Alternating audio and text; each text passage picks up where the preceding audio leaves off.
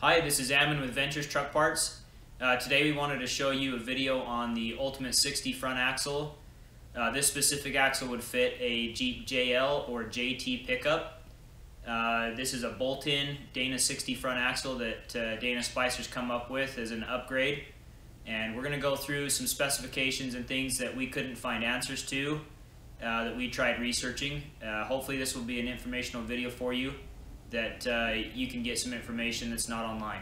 The first specification that we couldn't find online that we wanted to talk about was your wheel mounting surface measurement to the opposite side wheel mounting surface measurement. It's a pretty standard measurement, same as some of the old Dana 60s. It's 69 inches. Uh, it is 8 on 6.5 bolt pattern, so your lug nut uh, bolt pattern is 8 on 6.5.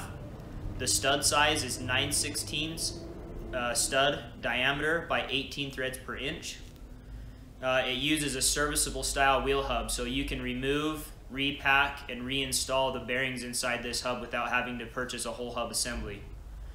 8 on 6.5 was a very common bolt pattern used on various axles, uh, Dana 60, 70, 14 bolt rear from the 1970s up to the 2000s. Uh, so this is a really common bolt pattern, really easy uh, bolt pattern to find wheel and tires for. The next thing we wanted to talk about was the diameter of the brakes. Uh, the rotor diameter is 14 inches and it also uses a massive uh, dual piston disc brake caliper in the front. Uh, the next thing we wanted to talk about uh, with the brakes is that it is ABS plug and play. So there's a 52 tooth tone ring pressed onto the back side of the wheel hub and it has a bracket uh, set by it that you can uh, uninstall and reinstall your original ABS sensor off of your axle you're removing out of your JL or your JT and it will make it a plug and play ABS system. You don't have to reprogram your ECU or any of your ABS components. The Ultimate Dana 60 front uses Warn's premium locking hub 35 spline. The knuckle design is really uh, a good design that Dana's come out with. Uh, it has the high steer arm already set up on the passenger side for crossover steer. Uh, instead of the drag link coming in and steering off of your tie rod itself like a lot of setups do, this has a solid tie rod from end to end in between the steering knuckles and a separate arm for your drag link coming up to your pitman arm. Uh, it is cast and bolted into uh, the steering knuckle itself and it's a very solid, uh, strong design. The axle tube diameter is three and a half inches and the wall thickness is 3 eighths inch. All of the axle brackets on the Ultimate 60 axle are uh, made from quarter inch plate. The axle shafts included in the Ultimate Dana 60 front are 4340 nickel chrome moly axle shafts and they are 35 spline outer and inner axle shafts. The Ultimate 60 front axle uses a massive 1550 series U-joint uh, we, stay tuned later on in the video. We'll have a comparison between some parts and you'll see the size difference between your standard Dana 44 U-joint in the axle you removed versus this Ultimate 60 axle as long as a as well as a comparison uh, to a Dana 60 U-joint 1480 series to the Ultimate 60 U-joint which is 1550 series. 1550 series U-joints should allow you to get a higher degree of steering angle as well over a 1480 series U-joint. The new center section has been slimmed down as much as possible. You can see that you got uh, great ground clearance with this new design. Uh, uh, included with this new center section is the uh, new designed diff cover as well. This is a nodular iron uh, front heavy duty ribbed uh, differential cover. The Ultimate Dana 60 has a new center section for this axle as well, the cast center section here. It has your upper link mounts uh, cast in as part of the center section. Uh, it also has uh, multiple ports. So you have a port for the electronic e-locker. You also have a port for an ARB air locker and a vent uh, tube port here for an axle tube vent that will go up into your engine bay. You can see here in the housing casting that this is a high pinion housing, gives you a lot of good ground clearance. Uh, also, high pinion gives you a great uh, input from your front drive shaft for a low angle on your uh, front drive shaft from your transfer case to the axle.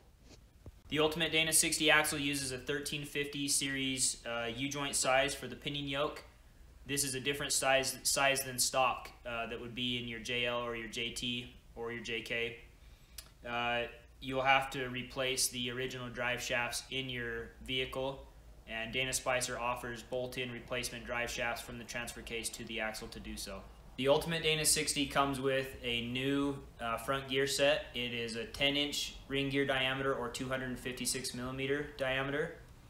Uh, the gear sets available in this are high pinion and they are available in 373, 410, 488, and 538 ratios. Now that we've done an overview of the Ultimate 60 axle, we'd like to show you some of the individual components and the size comparison between your standard axle and the Ultimate 60 parts. All right, starting on the left, we have a standard Dana 44 axle shaft U-joint. This is something that a lot of people use in axle swaps and, and different things. Uh, this is the axle shaft U-joint size from the 70s, 80s, and 90s Dana 44 front axles. Uh, going uh, towards the right, we have the JK, JL, and JT Gladiator Dana 44 front axle shaft U-joint, and you can see that that's already a step up from the older uh, the older style Dana 44 axles. So now we want to give you a comparison between what would be in your axle to what you could use. This is the U-joint that Dana could have used in the Ultimate 60 axles. This is the standard Dana 60 U-joint. It's 1480 series, which is a big upgrade over stock size in the in the JK, JT, and JL uh, front Dana 44 axles.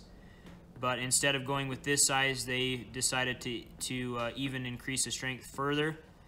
And they went to the Ultimate Dana 60 U-joint size, which is 1550 series. Another, another advantage to going from 1480 to 1550 series that we mentioned in the video before is because you have a greater distance between the yoke ears, you can get a, a tighter steering angle out of a 1550 series U-joint. But as you can see, there's not really a comparison between the two uh, in strength. The Dana 44 U-joint size in your uh, uh, JK, JL, and JT front axle is 1350. This is 1550, so I mean you can see it's a huge difference in strength. Next, we wanted to go over the difference between 30 spline and 35 spline axle shafts. 30 spline would be the, st the standard uh, spline count in your Dana 44. That would be 1.31 in diameter and 30 spline. And the Ultimate 60 uses 35 spline shafts, inner and outer chromoly, and they are inch and a half in diameter. If you hold these up, you can see the shaft comparison. Uh, it is much bigger. The next component that we wanted to show you the difference between the Dana 44 and the Ultimate 60 is the ball joints. So this would be the upper ball joint in the Dana 44 front axle. This is the upper ball joint in the Ultimate 60 axle.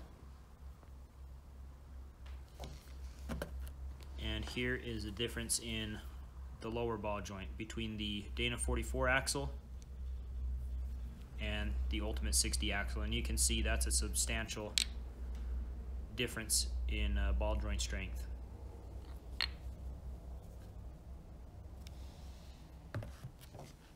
This has been our review on the Ultimate 60 axle. Hopefully this has given you some good information.